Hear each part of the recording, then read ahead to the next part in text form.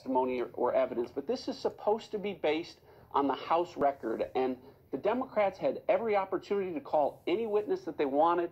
Um, and for them now to say we need more evidence and more testimony really shows that what uh, a constitutional scholar and Democrat.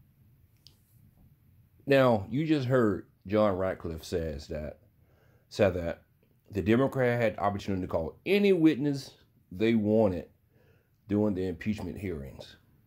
Now, this is how delusional politicians are.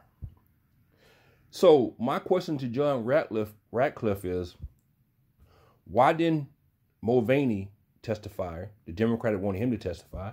Why didn't John Bolton testify? The Democrats wanted him to testify. Why didn't Mike Pompeo testify, who had relevant evidence to what had happened?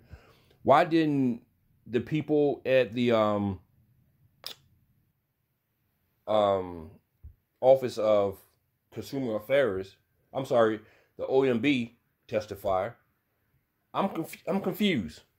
Now, do that sound like the Democrats was able to have any witness they wanted to testify? American people, wake up and understand.